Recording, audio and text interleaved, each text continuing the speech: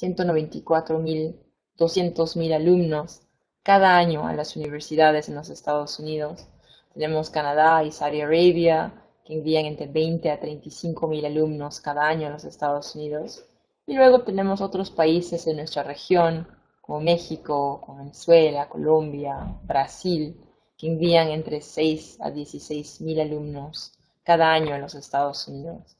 En nuestro país, ah, hablando específicamente del Perú, nosotros en la actualidad tenemos 2.763 alumnos peruanos estudiando en las mejores universidades americanas.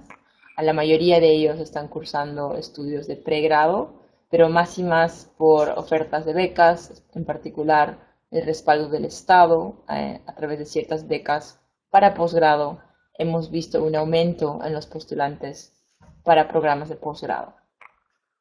Obviamente yo creo que el tremendo reto para nuestro país siempre ha sido el idioma. estudiar en los Estados Unidos, a diferencia de estudiar en otros países como España, por ejemplo, o otros países en nuestra región, requiere que un alumno domine el nivel o el idioma inglés. Entonces, los países que tienen la mayor cantidad de alumnos en los Estados Unidos, estos países extranjeros, han invertido mucho dinero en formar y preparar a sus alumnos para conocer y dominar el idioma inglés desde una temprana edad. Esto es algo que en nuestra región estamos invirtiendo mucho dinero, nos va a tomar más tiempo, pero hemos visto que hay esa directa conexión a un país que ofrece otro idioma a sus alumnos a una temprana edad, tiene mayores posibilidades de concretar estudios superiores en países como Estados Unidos o Inglaterra o Canadá.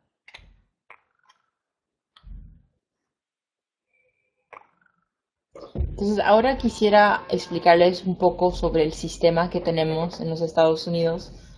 yo estudié toda mi educación en los Estados Unidos y esto cuando yo regresé a trabajar en el Perú, quizás fue, las diferencias fueron súper marcadas. en los Estados Unidos nosotros no tenemos exámenes de admisión, no tenemos academias y definitivamente no tenemos PRES. el alumno americano desde la secundaria terminamos la secundaria a los 17, 18 años, nosotros sabemos desde nuestro primer año de secundaria que el postular a una universidad como Harvard o como MIT va a requerir una preparación durante el transcurso de nuestro tiempo en la secundaria. No se va a finalizar con un examen. Entonces, todo lo que hacemos académicamente, con extracurriculares, con logros, premios, competencias, todo esto va a ser analizado y va a contar um, hacia mí, hacia mi posibilidad de ingresar a una universidad tan selectiva. Entonces quisiera resaltar eso, ¿no? La mentalidad allá es, un examen no va a determinar todo, sino estos años que estoy estudiando, sea en el colegio o en la universidad, cada año, cada curso va a contribuir hacia que yo pueda lograr esta posibilidad de estudiar en una universidad de mis sueños. Entonces en los Estados Unidos terminamos a los 17, 18 años el colegio. En nuestro último año estamos postulando entre 5 a 10 a 15 universidades a la vez, porque sabemos que no hay ninguna garantía que todas nos acepten. Algunos chicos optan por comenzar sus estudios en un community college, donde pueden estudiar cursos generales y luego hacer un traslado. Las carreras en los Estados Unidos duran cuatro años no tenemos eh, títulos como lo tenemos aquí en el Perú. Entonces, por ejemplo, yo estudié Relaciones Internacionales y Español, Lenguaje y Literatura, y eso es un bachelor's degree en los Estados Unidos. Ah, te permiten estudiar dos carreras a la vez. Y cuando traje todos mis documentos para ser reconocidos en el Perú, un grado americano es reconocido aquí como una licencia. entonces, uno es un licenciado aunque estudiaste cuatro años, porque por lo general en los Estados Unidos, durante esos cuatro años, tu último año, estás realizando una tesis. Entonces, nosotros no tenemos que estudiar cinco años para obtener un título, porque no trabajamos con títulos en los Estados Unidos. Ya que esta presentación el día de hoy es en particular sobre maestrías y doctorados, quizás muchos hoy en, en la audiencia están en la universidad o ya son profesionales, ya han terminado sus carreras en el Perú. Entonces, lo que quisiera resaltar aquí es que ya que en Estados Unidos no trabajamos con títulos, con la excepción de abogados, doctores, veterinarios, la mayoría de ustedes no necesariamente tendría que completar su tesis, es decir, obtener el título profesional para poder postular a maestrías y doctorados en los Estados Unidos. Entonces, quiero que lo tomen en cuenta porque en Estados Unidos esto no es un requisito. La tesis lo considerarían como una investigación, más no un prerequisito. Ahora, hablemos sobre las maestrías y doctorados. Bueno, los alumnos que estudian maestrías por lo general buscan y encuentran maestrías de dos años. Hemos visto maestrías cortas en ciertas áreas como educación, que son mucho más orientado a personas que tienen mucha experiencia eh, laboral. otra cosa que hemos visto que es muy diferente en Estados Unidos que en nuestro país es que el prerequisito de una maestría para obtener un doctorado quizás no existe, en particular para los profesionales en ciencias, tecnología, ingeniería y matemáticas. Yo he trabajado con muchos jóvenes de universidades como Cayetano, universidades como San Marcos, universidades como la UNI, jóvenes que simplemente terminaron sus grados o sus títulos aquí y procedieron a postular a doctorados y lograron ingresar al programa del doctorado sin tener que presentar una maestría. Entonces, eso es algo que quisiera resaltar también, porque algunos de ustedes quizás tienen un CV lleno de muchísima experiencia en investigación, publicaciones, entonces no consideren que un prerequisito siempre va a ser una maestría. Ahora, los doctorados en los Estados Unidos duran mucho más tiempo que los doctorados en nuestro país. Hemos visto doctorados de 4 o 5 años con un tiempo promedio, pero también hemos visto jóvenes en ingeniería quizás tomar un poco más de tiempo, hasta 6 años. Entonces, más o menos esto es el panorama académico. Comenzamos con el grado de bachiller, bachelor's degree, continuamos, si es que deseamos, a una maestría, y luego el grado máximo sería un PhD, un doctorado. Si aún quieres seguir estudiando, y hemos visto estos casos, podrías buscar un postdoc um, para estudiar unos años más. Ahora, algo que quisiera resaltar antes de continuar es un tema de edades. Muchos de los alumnos que recibimos en el centro nos consultan si existe una edad mínima o una edad máxima. Los Estados Unidos realmente no discriminan por edades, entonces, realmente no existe una edad mínima. Hemos visto jóvenes genios que han logrado ingresar a la universidad a los 12 años. hemos visto personas buscar maestrías a los 40 años. Entonces, no existe un límite de edad. Pienso que el mayor limitante siempre es el talento propio, ¿no? Entonces, esto, este proceso que vamos a explicar el día de hoy, sea para una maestría o para un doctorado, es un proceso que va a requerir mucho tiempo y muchas aptitudes. Entonces, cuantas más aptitudes tengas, vas a poder acelerar con este proceso y vamos a resaltar más a fondo cuáles son estas habilidades. Algo que es muy importante también presentar el día de hoy es el tema de tiempos. Y pienso que los mejores casos de éxito siempre han sido de alumnos que han entendido que este no es un proceso de un examen, esto no es un proceso de semanas, esto es una preparación de años. generalmente los alumnos postulan a las universidades cada diciembre, cada enero, cada febrero, reciben resultados de sus admisiones en el mes de abril o mayo y comenzarían su año académico típicamente a finales de agosto o a inicios de septiembre. El primer ciclo americano es de agosto a diciembre el siguiente ciclo es de enero a mayo y vacaciones típicamente en los Estados Unidos para todos niveles educativos es desde junio hasta agosto. Entonces con eso ah, ya hemos hecho una, pienso, una presentación muy específica sobre las grandes diferencias que tenemos y las grandes variables. Y ahora quisiera continuar hacia los pasos. ¿Qué pasos voy a tener que realizar para postular a mis posgrados en Estados Unidos. Los cinco pasos de Education USA son los siguientes. El primer paso y el más importante es investigar tus opciones. Imagínate, tienes 4.000 universidades, 690 tipos de carreras, 50 estados, hay muchísimas opciones y ustedes tienen que prepararse para invertir un buen tiempo en investigar y aprender cómo diferenciar entre Universidad A, Universidad B y Universidad C. El tema de financiamiento es muy importante y nosotros en los centros de asesoría somos especialistas en este, ah, en este aspecto y nosotros te podemos guiar dándote ciertas pautas de cómo determinar y comprender cuál es la política económica de una universidad particular, una universidad estatal, por qué hay más financiamiento para el doctorado y no hay tanto financiamiento para la maestría y dónde podría buscar apoyo adicional. ¿no? Todo esto es algo que tú vas a poder trabajar con un asesor de Education USA y nosotros estamos muy felices de compartir los recursos que tenemos con ustedes. El tercer paso, después de entender a dónde voy a postular y si es que lo voy a poder financiar, es obviamente postular. Entonces nosotros tenemos que explicarles qué te van a pedir en los Estados Unidos para postular. Por lo general hay exámenes de inglés, hay exámenes de aptitud, ya que ustedes están postulando a maestrías y doctorados, todos sus certificados académicos de la universidad. Si es que han hecho una maestría, también de la maestría, tendrían que ser traducidos estos documentos.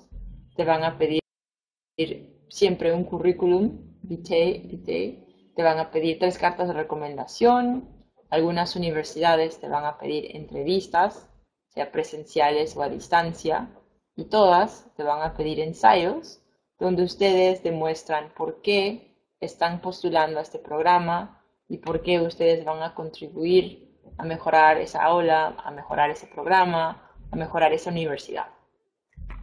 El cuarto paso y el quinto paso suceden después de que ustedes han sido admitidos. Entonces el día de hoy nos vamos a enfocar en particular en los primeros tres pasos.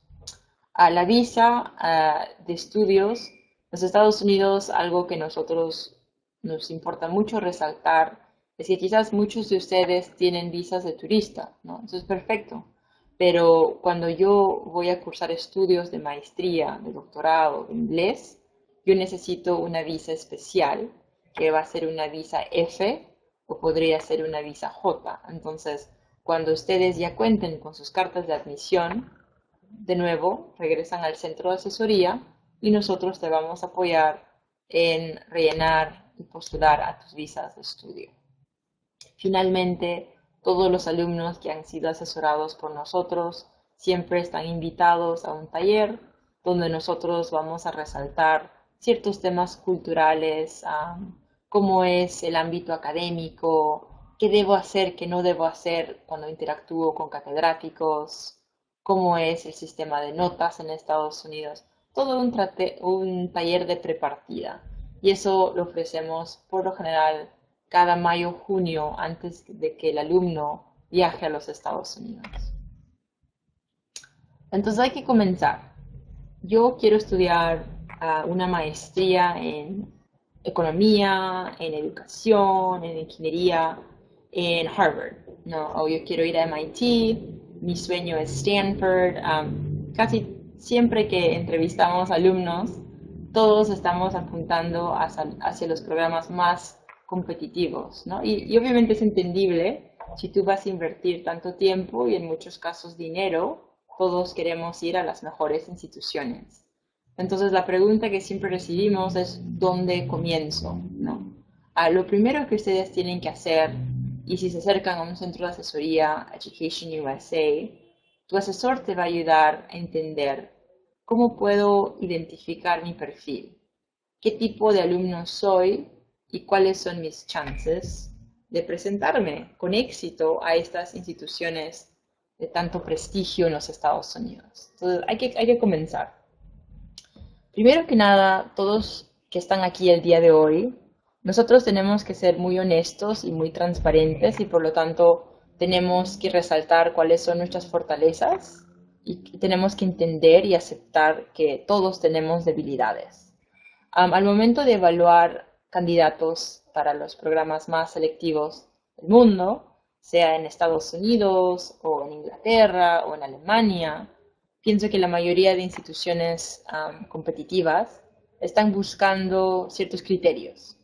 Primero que nada, en los Estados Unidos vamos a evaluar cuál es tu nivel de inglés. Entonces, como les mencioné, todos van a presentar exámenes TOEFL para que ustedes demuestren a la institución que tienen un nivel avanzado de inglés. El TOEFL es un examen de 120 puntos y por lo general un alumno que obtiene un 100 o más tiene la posibilidad de presentarse a cualquier institución. Si yo estoy en básico nivel de inglés, si estoy en un nivel bajo intermedio de inglés, o peor aún, si yo no sé cuál es mi nivel de inglés, um, yo tengo que considerar que esto definitivamente va a afectar cuánto tiempo voy a invertir en prepararme para postular a un posgrado. Excelencia académica. Um, yo sé que en el Perú, porque he trabajado con muchos alumnos de universidades como la UNI, como Católica, como Cayetano y San Marcos, yo sé que en Perú obtener un promedio ponderado de 20 es un sueño. sin embargo, quisiera resaltar que cuando ustedes postulan a posgrados en los Estados Unidos, el primer documento que van a solicitar de todos ustedes es un resumen de su expediente académico, orden de mérito y su promedio ponderado en su facultad. Entonces, no puedo resaltar más el hecho que si yo estoy en la universidad y mi sueño es hacer un super posgrado en los Estados Unidos, yo tengo que tomar muy en serio mis cursos y mis clases.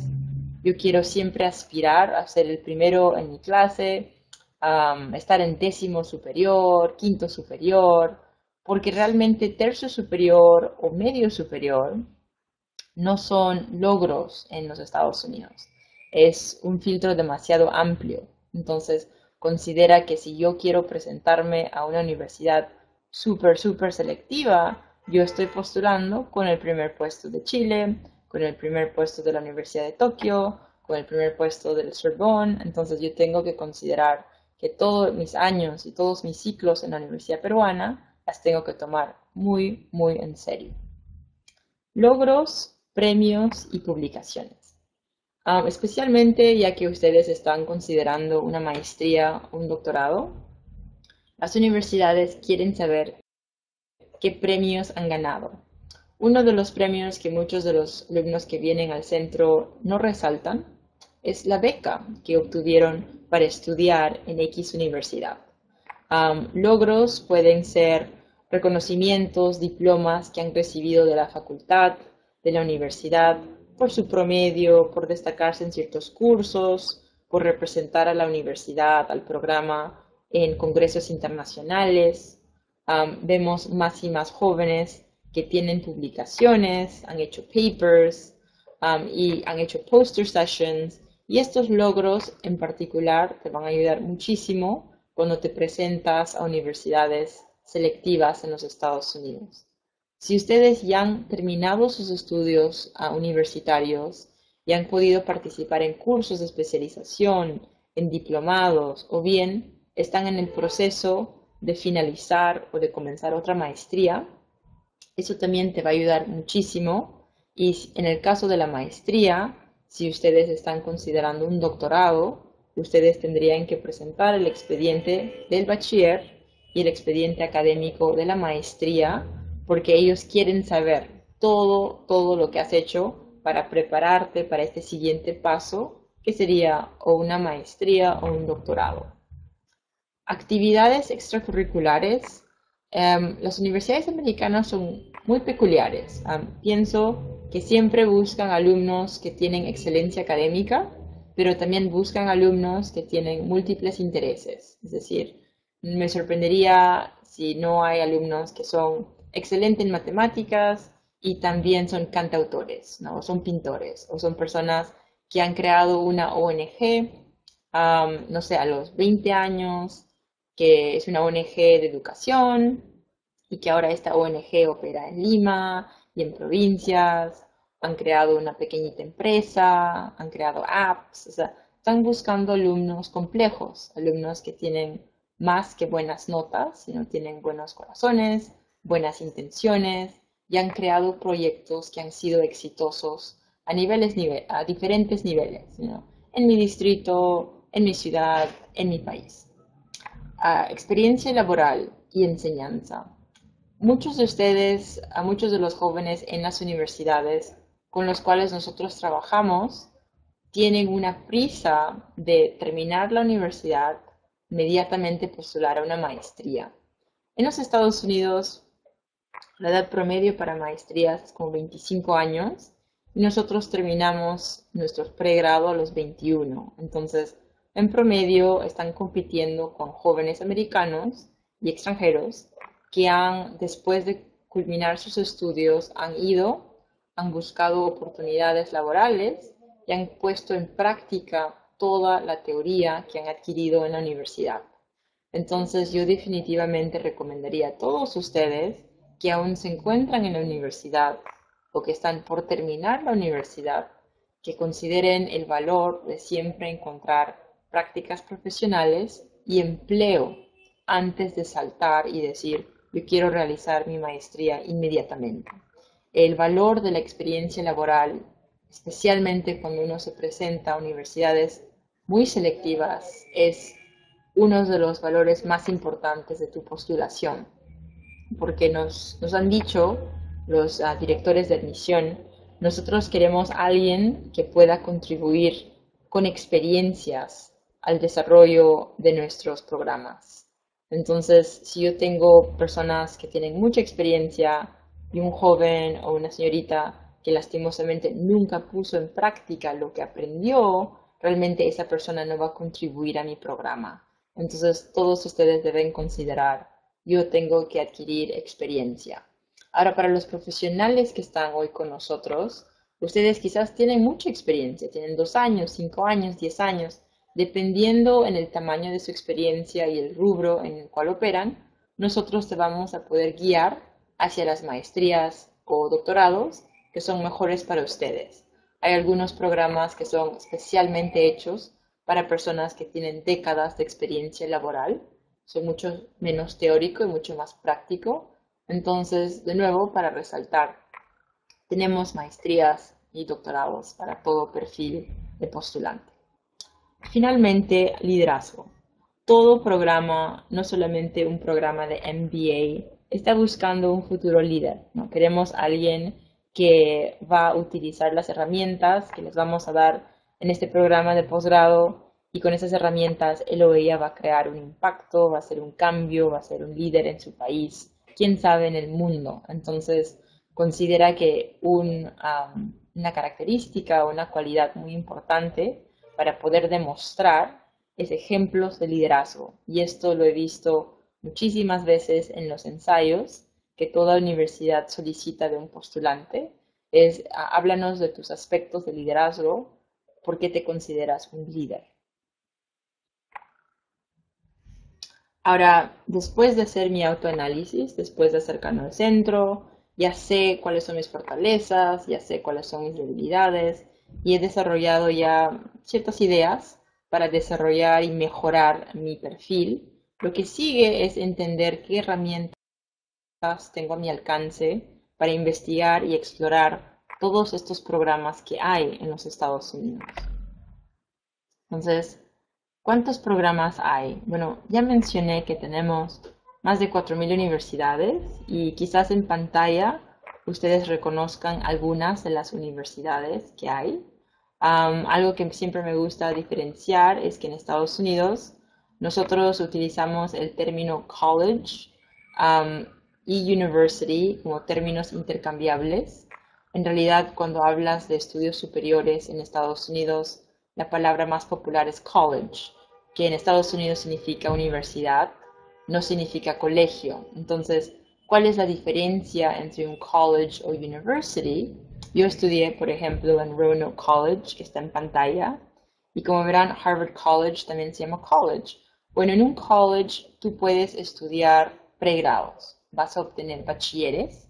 Sin embargo, en un university yo estudiaría mi maestría o mi doctorado. Eso es una gran diferencia no es un término que la calidad de una es superior a la otra, no, simplemente la diferencia es lo que te ofrece. So, en Harvard College, por ejemplo, yo podría obtener mi bachiller en economía, sin embargo, mi maestría, mi doctorado en economía, lo voy a obtener en Harvard University.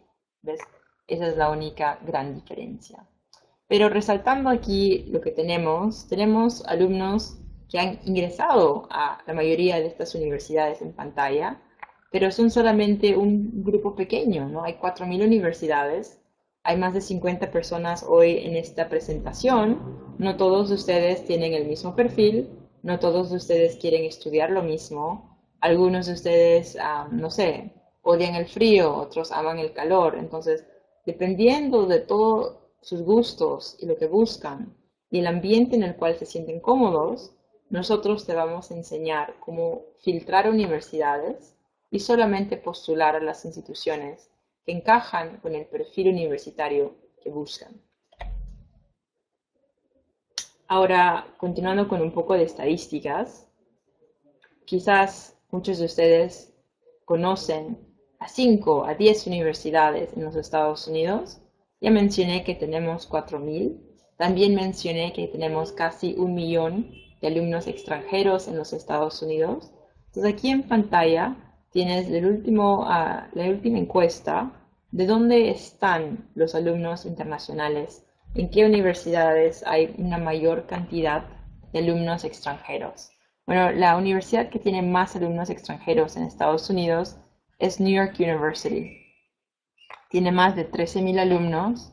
University of Southern California tiene 12.000. Columbia 11.000 y Arizona State University, que es una excelente institución y una de las más grandes, sino la más grande universidad estatal en los Estados Unidos, tiene más de 11.000 alumnos. Entonces, solo para que tengas una idea, estos son 20 universidades, no son 4.000.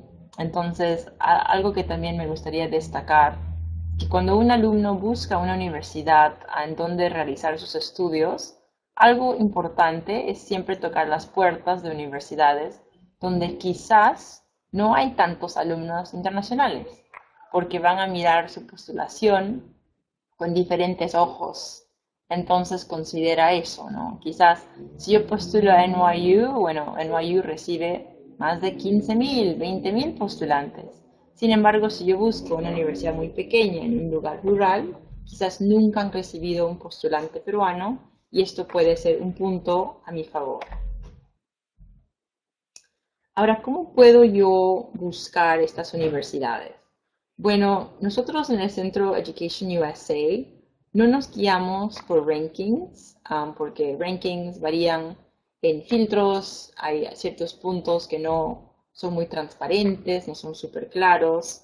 Entonces, lo que nosotros hemos compartido con ustedes aquí son quizás los rankings más populares que hay ahorita, pero nuestra sugerencia es que ustedes lo usen como una referencia y que se guíen en particular no por el ranking general, sino por el ranking de programas. Entonces, vamos a decir, yo, yo sé que hay 4.000 universidades en Estados Unidos, yo no tengo el tiempo de revisar 4.000 enlaces, entonces yo voy a ingresar a Best Graduate Schools, the US News y World Report, yo voy a filtrar por los mejores programas en educación y ahí voy a ver quizás 50 o 100 programas.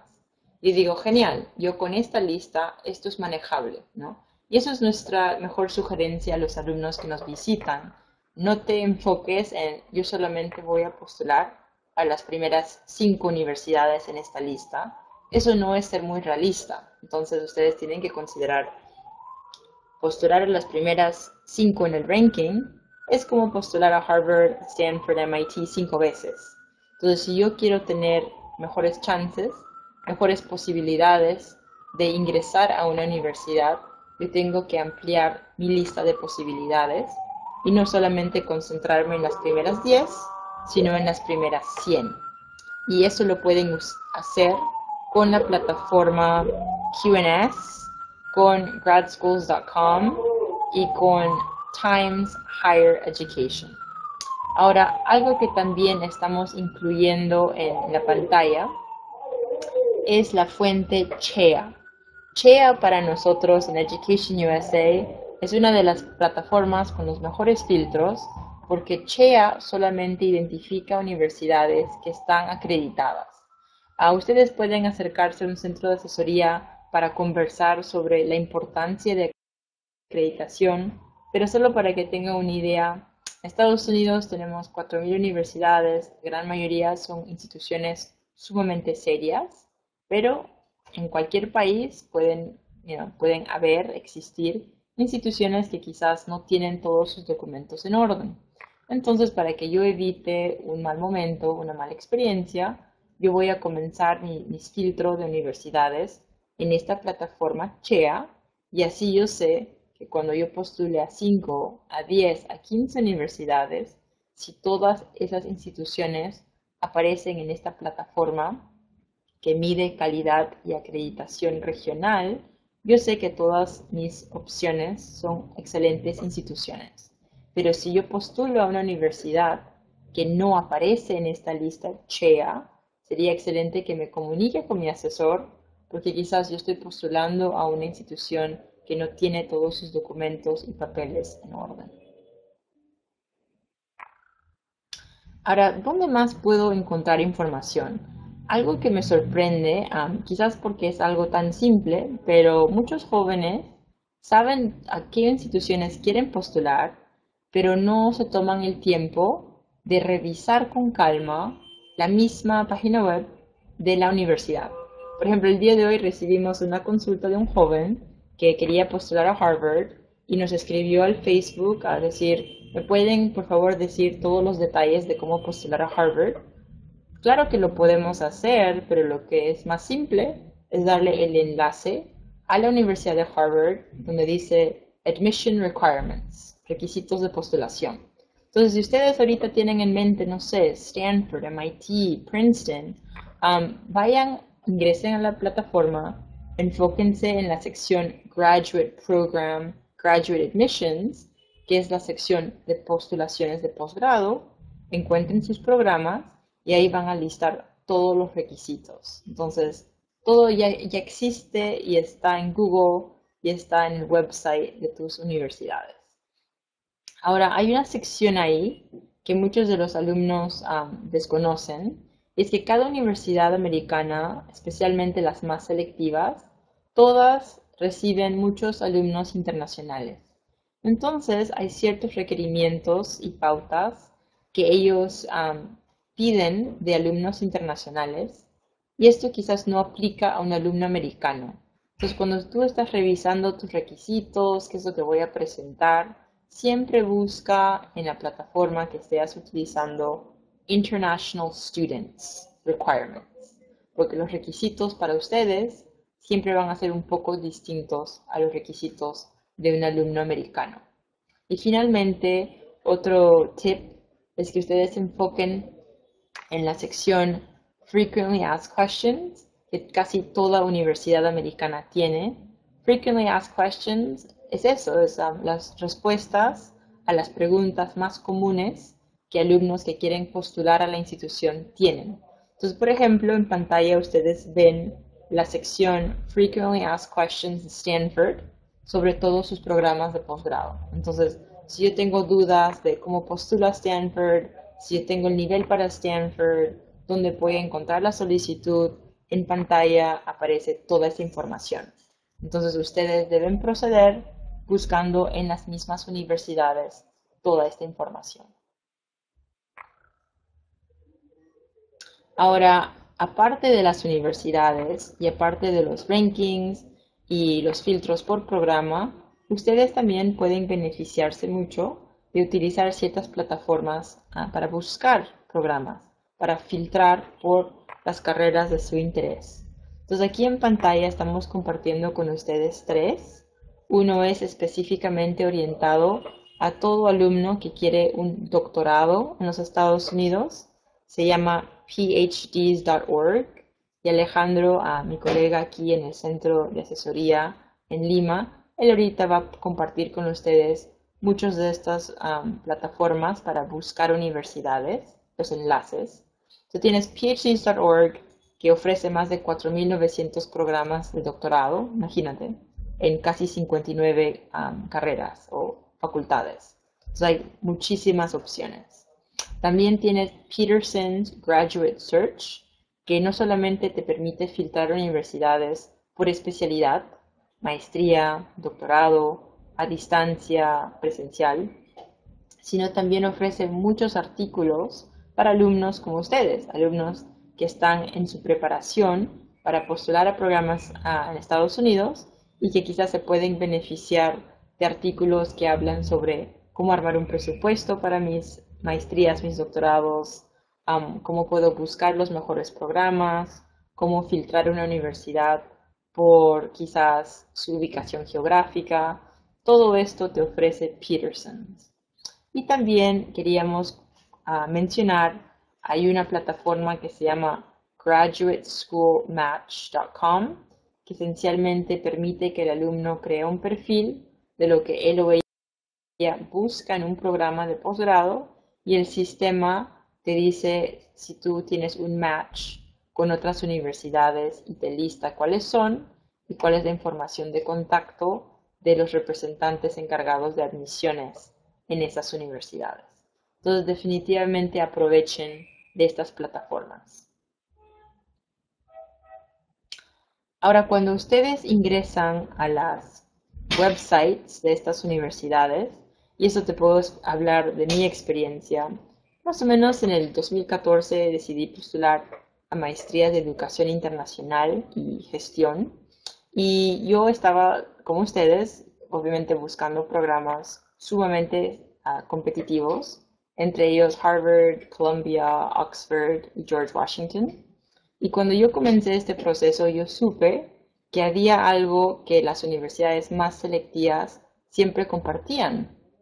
Y era algo que se llamaba Class Profiles los perfiles de los que han ingresado. Entonces, no es suficiente decir, mi meta es estudiar mi MBA en Harvard, si tú no puedes respaldarlo con, yo sé todas las estadísticas, yo sé cuántos postulan, cuántos ingresan, yo sé cuál es la edad promedio de los que ingresaron, yo sé cuántos años promedio de experiencia laboral tuvieron. Si tú no puedes responder esas consultas, lo más probable es que no tengas una postulación exitosa. Entonces, para mí, yo invertí, yo diría, tres a cuatro meses simplemente en buscando y escribiendo en muchos casos a la misma universidad para hacer estas consultas, ¿no? ¿Por qué? Porque si yo sé cuál es mi perfil, obviamente si yo sé cuál es el perfil del alumno que ingresó, yo puedo ver mis posibilidades. Entonces, si yo no hago estas preguntas y postulo a ciegas, lo más probable es que no, no hubiera sido exitosa, ¿no? Pero ya que me preparé, todo, todo salió bien. Entonces aquí es lo que tienes a tu frente, es las estadísticas de Harvard para dos de sus escuelas más importantes, the John F. Kennedy School of Government y el Harvard Business School, que todos, todos me imagino que han escuchado. So, el, el otro día recibimos un diplomático que estaba súper interesado en postular al Harvard Kennedy School. Entonces yo justo le comenté la importancia de entender este perfil y lo revisamos.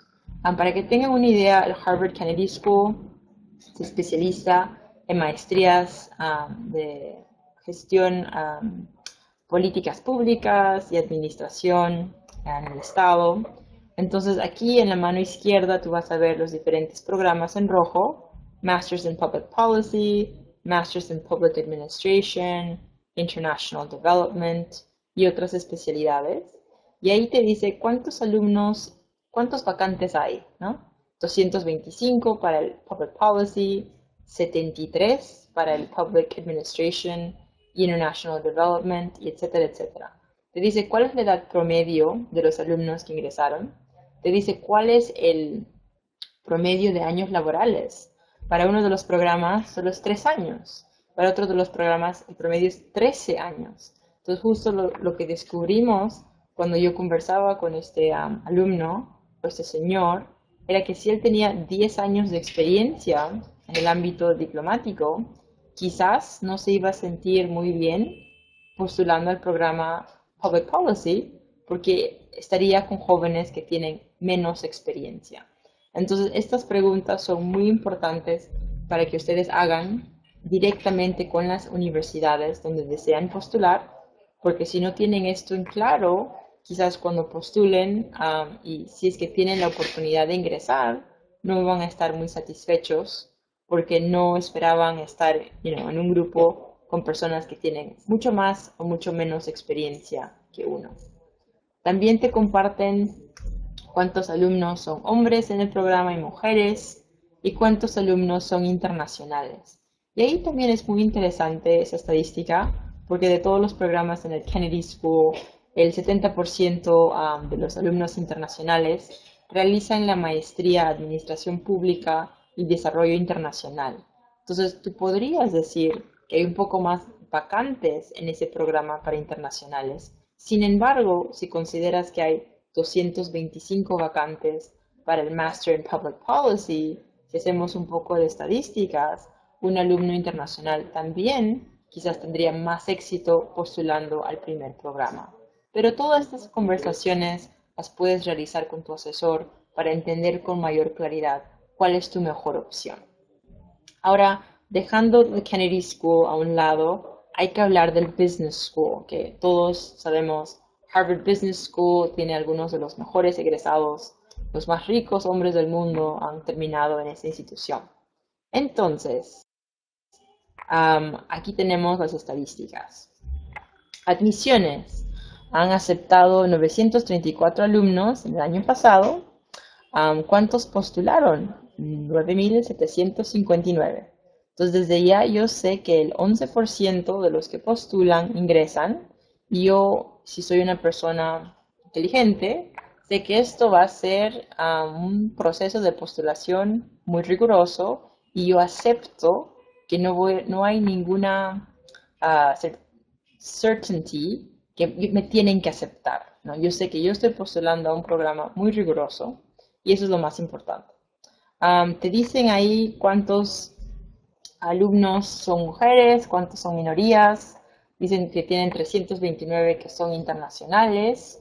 Edad promedio es 27, por lo tanto, si yo tengo cero experiencia laboral, yo sé desde ya que postular a Harvard Business School no va a ser mi mejor opción. Te cuenta que hay 68 nacionalidades representadas y te cuenta de cuántas universidades vienen, ¿no? de una variedad de 149 distintas universidades. También lo que te ofrece el Business School, que no te ofreció el Kennedy School, te dice cuál fue el promedio en el examen de admisión para las escuelas de Business School, GMAT, cuál fue el promedio de los alumnos aceptados. Y eso es otro filtro súper importante porque todos aquí van a tener que presentar exámenes internacionales. Entonces, si yo ya sé cuáles son los promedios de los que ingresaron, yo sé cuáles son mis metas de lo que yo quiero alcanzar. Y finalmente, también resaltan el promedio ponderado de un alumno que ingresa a esta escuela que es tan selectiva. Y en Estados Unidos nuestras escalas son de 0 a 4. Un 3,5 para arriba es súper, una súper nota y el promedio de los chicos que ingresan es 3,67. Entonces, continuando con ayuda financiera, quisiera que ustedes entiendan que este proceso de postulación a universidades americanas y en particular el proceso para postular a becas no es para nada una carrera corta. Yo pienso que este proceso es un maratón y no todos ah, en el mundo tenemos los pulmones o las piernas o la motivación para terminar esta carrera. Entonces, considera que los que logran obtener super becas o vacantes son alumnos que se han preparado bastante tiempo y que conocen todo lo que, todo lo que va a requerir este maratón. La primera fuente de ayuda financiera para pregrado, pero en particular para posgrado, se encuentra directamente en las universidades. Entonces, ¿dónde voy a buscar ayuda financiera? En la sección Financial Aid de cualquier programa ah, de posgrado. Si yo estoy leyendo ahí todas las letras chiquitas, y veo que mencionan nada sobre ayuda financiera para internacionales, yo entiendo que ahí no van, yo no voy a encontrar becas. Entonces, next, y esto es parte de tu filtro y parte de tu investigación. Como les mencioné, un gran apoyo hoy en día es el Estado peruano. Pueden encontrar apoyo en la oficina Pronavec, que ha creado una beca especial que se llama Beca Presidente de la República para alumnos sobresalientes peruanos. He tenido la fortuna de trabajar con muchos alumnos que por su perfil y su excelencia han podido beneficiarse de esta beca y financiar integralmente sus estudios de maestría. Si ustedes ingresan al website de Beca Presidente de la República, van a ver el manual, van a entender el cronograma, van a entender los requisitos. Otra fuente para los que están súper interesados en realizar doctorados en ciencias, tecnología, ingeniería y matemática es Concitec. Sugiero que se acerquen a sus oficinas, que contacten a los representantes y averigüen sobre las futuras postulaciones. Concitec tiene la capacidad de financiar el 100% de doctorados a las mejores universidades en el mundo. Y finalmente no podría ser un asesor Education USA y no mencionarles algo de la beca Fulbright. La beca Fulbright es la beca más prestigiosa del gobierno americano. nosotros en, en mi centro tengo una gran fortuna de trabajar con, yo diría, aproximadamente dos a tres alumnos cada año que logran postular esta beca y ganarla. Nosotros en Perú hay aproximadamente, yo diría, entre 15 a 20 becarios cada año y son los mejores de los mejores a nivel nacional.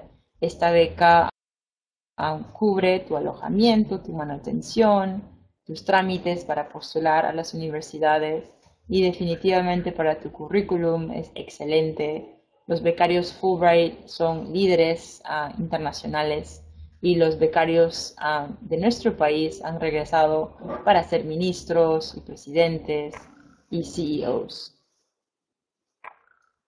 Recursos que quisiera compartir con ustedes ya para concluir con nuestra presentación el día de hoy son los siguientes.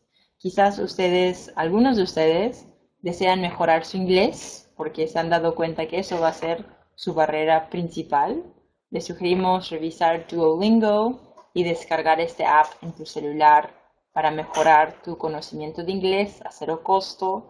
Hay múltiples niveles y ha sido una app que ha ganado miles de premios por permitir a muchas personas adquirir un buen dominio del idioma inglés.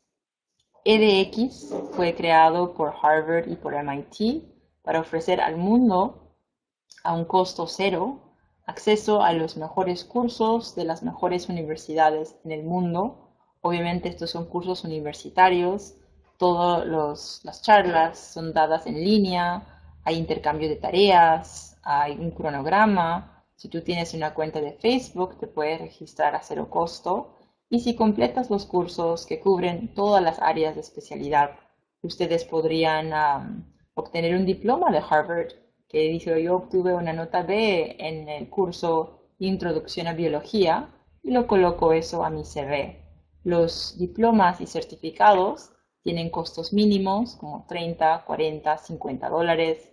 Obviamente si yo hablo inglés yo voy a poder beneficiarme de EDX, pero también quisiera resaltar que han incorporado a algunas de las universidades más prestigiosas que ofrecen cursos en español, de ellas la UNAM, entonces, definitivamente hay algunos cursos en español. Magoosh, um, para todos los postulantes, Magoosh es una empresa americana que tiene un sinfín de recursos para exámenes internacionales. Los más importantes para postulantes de posgrado va a ser el GRE y el TOEFL. Para los postulantes a MBAs va a ser el GMAT y el TOEFL. Entonces, ingresa a Magoosh, descarga sus apps, hay un sinfín de posts, de blogs, de recursos gratuitos para que ustedes descubran más sobre cómo son estos exámenes, cómo me podría preparar para estos exámenes y dar simulacros a cero costo. una fuente que a mí me encantó cuando yo postulé a mis universidades, en particular esto fue útil para postulaciones a Harvard y para Oxford. Se llama The Grad Café. es lindo poder encontrar a personas que están igual como tú. No sé, otra persona que tiene una pasión por educación, otro chico que quiere su doctorado en economía, otra joven que quiere su doctorado en biología o microbiología. En esta plataforma, thegradcafe.com, ustedes van a poder conectarse con jóvenes de todo el mundo y de todo Estados Unidos que quieren postular a los mismos programas que ustedes o que ya han postulado a esos programas. Y esos jóvenes tienen muchísima información, han hecho bastante investigación y están súper dispuestos a compartir con ustedes lo que han encontrado. Yo recuerdo que yo escribí un post sobre la maestría que buscaba en educación internacional y que realmente agradecería que alguien me revise mi currículum. Y recuerdo que me respondió una alumna de Harvard, me dijo, Kelly, yo ingresé al programa, te comparto mi currículum para que mires el formato y yo estaría muy feliz de intercambiar correos contigo y revisar tu currículum. Entonces, hay gente así lo más importante es que ustedes busquen a estas personas y las pueden encontrar en thegradcafe.com. Y otra fuente que es nueva ah, se llama The LinkedIn Alumni Tool. No sé cuántos de ustedes el día de hoy tienen una cuenta de LinkedIn, pero LinkedIn ahora te permite filtrar universidades por los alumnos que han egresado de los programas de tu interés. Entonces, por ejemplo, aquí en pantalla tienes Harvard, tienes las empresas donde trabajan los egresados de Harvard, pero también tienes la categoría Students and Alumni. Y en esa categoría tú vas a poder encontrar estos alumnos que han terminado, no sé, los programas que buscas, Computer Science, Engineering, cosas así.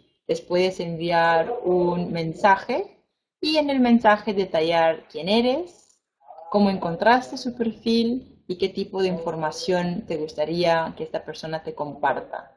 La gran mayoría de personas que están en LinkedIn quieren colaborar con otras personas, quieren hacer networking, entonces dependiendo en qué tipo de mensaje compartes, vas a poder recibir y encontrar mucha información.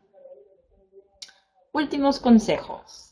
Ya para concluir el día de hoy, lo más importante, yo pienso, de cualquier postulación o cualquier decisión que requiere tantos pasos es que ustedes se conozcan. Y lo más importante de, esto es que ustedes se hagan las preguntas más importantes, que es, ¿qué es lo que yo quiero? ¿No? Porque la realidad es que todos decimos, yo quiero una maestría, yo quiero un doctorado. Sí, ¿por qué no? Es, va a ser algo increíble. Pero a veces no entendemos todos los sacrificios que va a requerir esta decisión. Es un proceso tan largo, hay tantos exámenes, hay tanta incertidumbre, ¿no? Después de todo, no hay ninguna garantía que me tengan que aceptar y que me tengan que dar una super beca. Entonces yo estoy dispuesto a tomar este riesgo. Algunos sí, algunos no. Entonces considera cuáles son tus planes a futuro, porque como les mencioné, estos programas no son cortos y el proceso puede tomar años. Hablemos también sobre la importancia de crear un plan. Nosotros en los centros de asesoría, yo en particular, soy una persona que siempre trabajo con una agenda. yo pienso que la gran diferencia entre un sueño y algo que logras es que para lograr un sueño tienes que tener un plan. Entonces, nosotros te vamos a ayudar a crear un plan de acción, así lo llamo, y es algo que puede durar, como les mencioné, un año, dos años de preparación. Si ustedes no tienen el nivel de inglés avanzado, si ustedes desconocen su nivel de inglés, el plan comienza con eso, identificar cuál es su nivel de inglés. Nosotros en el IPNA, nosotros tenemos simulacros integrales del TOEFL para que ustedes a cualquier hora digan, yo quiero comprar ese simulacro y ver cuál es mi nivel. Entonces, sería mi recomendación para todos ustedes interesados en este proceso, identificar desde ya cuál es mi nivel de inglés, porque eso va a determinar si mi plan va a ser muy corto o si va a ser muy largo. Lo que sigue después de eso serían la preparación para ciertos exámenes, obviamente un análisis si yo tengo experiencia laboral o no, el tiempo que va a requerir obtener esa experiencia laboral y otras cosas que vamos a ir discutiendo poco a poco cuando ustedes se acercan a un centro de asesoría. Si tú quieres algo que nunca has tenido, es tiempo de hacer algo que tú nunca pensaste o tú nunca has hecho. estudiar en los Estados Unidos, pienso que yo podría ir a cualquier país y siempre voy a encontrar aulas llenas de alumnos que quieren estudiar en los Estados Unidos. Y ojalá el día de hoy lo que he mencionado, los requisitos, el tiempo, sea información súper útil para ustedes. Pero pienso que no hay nada más importante en, este proceso que el sacrificio y trabajar con personas, y yo en particular, con alumnos ah, profesionales que tienen la disciplina de decir, esto es mi meta y yo voy a hacer todo lo que ustedes me digan para poder lograrlo. Entonces, si yo no me rindo, en teoría yo nunca voy a perder mi sueño.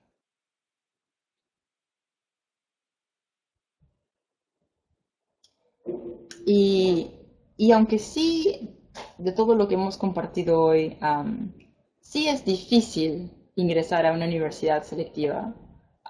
yo te puedo compartir que cuando yo postulé a mis universidades, siempre había y siempre van a haber personas que te van a decir, no, no deberías aspirar tan alto, sabes que Harvard es una universidad muy difícil, siempre hay personas así, lo cual uno tiene que entender porque ustedes tienen que buscar las estadísticas, ¿no? Tienen que entender los cross profiles, tienen que saber dónde va a ser bien competitivo y dónde quizás van a encontrar mejores oportunidades. Pero al final del día, nunca deberías perder confianza en ti mismo. Yo postulé a George Washington, a Columbia University, Harvard University, Oxford University y fui admitida a todos mis programas lo cual yo aún no creo, pero sucedió y sucedió porque me preparé un buen tiempo. Entonces, siempre comparto esta anécdota con mis alumnos porque les dije, you siempre vas a sentirte insegura de ti misma hasta que no lo haces, ¿no? Entonces, cuando tú sabes que has hecho todo el trabajo necesario, has evaluado, has investigado, sabes que tienes un chance, tienes que ir tras ese sueño, porque si lo abandonas, entonces quizás te está cerrando una puerta que siempre estuvo abierta para ti. Ahora, antes de concluir, quisiera compartir con ustedes algunos de los casos de éxito más recientes que hemos tenido. acá a la mano izquierda tienes una alumna, Tania, de Puerto Maldonado. Tania vino a asesorarse, yo diría, por más de un año. Salió de Puerto Maldonado para encontrar un centro de asesoría. Ganó la beca Fulbright, fue asesorada con nosotros para la beca Fulbright Ahorita está realizando su maestría en la Universidad de Florida. Charlene es una alumna de la Universidad San Marcos. Fue quizás mi primera alumna asesorada. Trabajamos dos años y medio porque el inglés era algo que tenía que mejorar y logró ingresar al mejor programa de ciencias aviarias, Avian Sciences, en los Estados Unidos. Fue a California con la beca Presidente de la República y ahora va a regresar a California para su doctorado con una muy buena ah, respaldo financiero. En, en, el medio tenemos una foto muy linda que tomamos en la embajada con un grupo de becarios de la beca Presidente de la República, entre ellos jóvenes que se están yendo a Harvard, jóvenes que se están yendo a Purdue University, Universidad de Texas, a New York University, que se están yendo para ingenierías, para artes, para lingüística, son jóvenes que vinieron de universidades nacionales o que fueron becados en universidades privadas. Y son jóvenes con excelencia académica y liderazgo que pueden financiar su educación por medio de esta beca del Estado peruano. Tenemos Hernán Martínez, que está ahorita en SUNY en New York, también becario Fulbright, alumno del UNI, primer puesto en Ingeniería Estructural, se fue el año, él se fue este año. Y a la mano derecha tenemos a Carlos Marcelo Serván, Un alumno con el cual trabajamos también aproximadamente dos años. Está realizando el primer año de su doctorado en la Universidad de Chicago con una beca de 500 mil dólares que él mismo ganó de la Universidad de Chicago porque era un súper, súper chico. Entonces, algunos casos de jóvenes que han logrado, a pesar de limitaciones en recursos económicos, a pesar de, wow, este proceso va a ser largo, dedicaron el tiempo necesario para ir tras sus metas y ahora están viviendo sus sueños. Entonces, con eso quisiera concluir el día de hoy, agradecerles a todos por el tiempo compartido. No hay ninguna forma más práctica de comunicarse con nosotros, enviarnos sus preguntas, pedir citas, que utilizar nuestras plataformas de redes sociales. Entonces, por favor, síganos en redes sociales, en Facebook, Education USA Perú, en YouTube, en Instagram, donde estamos colgando más y más entrevistas con estos chicos que están ahora en Estados Unidos. Si quieren llamar y pedir una cita, podrían hacer a partir de mañana, a partir de las 10 de la mañana, llamando al 706-7000 anexo 99020 o 99021. las citas las ofrecemos aquí en Miraflores lunes a viernes entre las 10 y las 7 de la noche. Muchísimas gracias. Por razones de tiempo tenemos que culminar la grabación antes de responder muchas, muchas preguntas, pero por eso quisiera destacar que toda pregunta compartida a través de messages en redes sociales, ustedes van a recibir respuestas súper detalladas. Entonces les pido que por favor compartan sus preguntas con nosotros en redes sociales y que también ahí coloquen su correo electrónico, quizás el número de teléfono más rápido para comunicarnos con ustedes y que sean muy específicos sobre qué tipo de programa buscan, maestrías en ingeniería, doctorados en educación, para que nosotros podamos responderles con toda la información y recursos que tenemos. Entonces con eso quisiera agradecerles a todos por participar el día de hoy. tenemos más de 53 personas participando y eso para mí me hace muy, muy feliz. resalto que nada es imposible si uno planifica bien y tiene la motivación y la disciplina y el inglés en este caso para ir tras esta meta de estudiar las mejores universidades del mundo. Entonces, muchísimas gracias a todos ustedes por su tiempo y que tengan un muy bonito miércoles. Buenas noches.